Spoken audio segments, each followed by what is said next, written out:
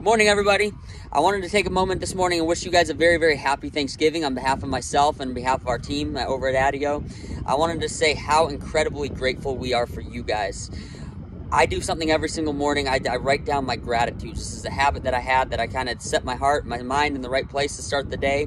And there's not a day that goes by that I don't write you guys, that, that I'm not extremely appreciative and grateful for my patients every single day that I come into work, I know that there's people that are going to be getting into their car. They're going to be driving to the office. They're going to be laying on the table, trusting me, trusting the team with your health. And this is something I'd never, ever, ever take lightly. I, I, I really, truly believe that you guys deserve the best. You guys deserve the best experience. You guys deserve the highest level of skill.